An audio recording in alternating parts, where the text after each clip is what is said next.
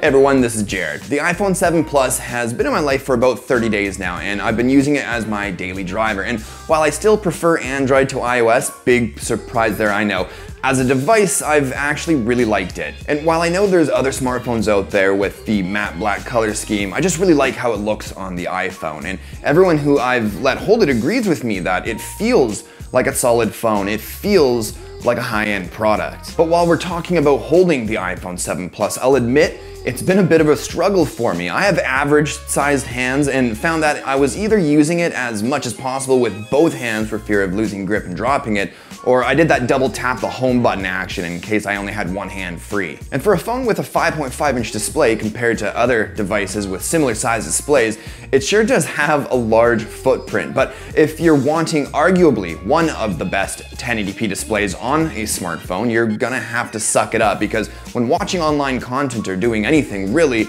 you'll immediately be impressed with the punchy but not oversaturated colors razor sharp text, and display brightness, especially in daylight. Apple just flat out knows how to make great displays, but internal audio for me was just meh. Um, I don't really have anything to complain about. The dual speakers do a well enough job to hear music or watch videos in somewhat noisy environments, but I have heard better, more full sounding dual speaker setups on other devices before, so there's still some room for improvement. The lack of a headphone jack has caught me off guard a few times while in the car wanting to connect my auxiliary cable, but honestly, give me another month and I'd probably get used to it. And besides, except for my car, I use Bluetooth for everything else, so it's just sort of a non-issue for me. And I don't really have any opinion on the new haptic home button. I think it's fine and the Taptic motor behind it, to me, feels like a real button press. As long as it works and it works well, I don't care if it's a piece of metal, glass, or plastic, but I do have a positive opinion on the fingerprint reader. It's one of the most consistently fast and accurate on the market,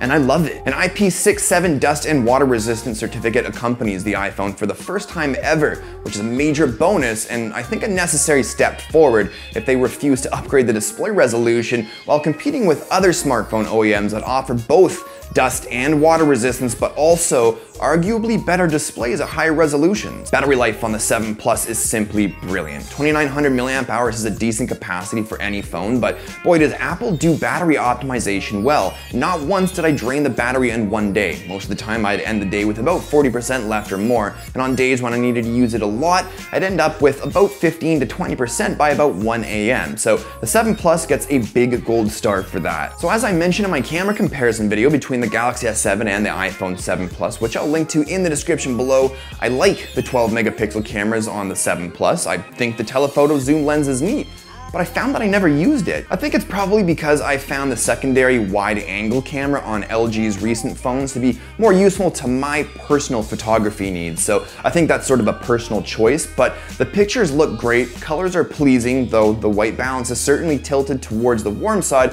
which some people like, and it also has a tendency to blow out highlights. And although the Galaxy S7 is better in low light, the iPhone 7 Plus still does a good enough job at capturing moments that might otherwise have not been distinguishable with other phones. So the iPhone gets another gold star for that, but I do still wish we had some more manual controls. The iPhone 7 Plus is an awesome all-around phone. There's lots of great things about it, and I've even recommended it to some friends and family over some current Android offerings.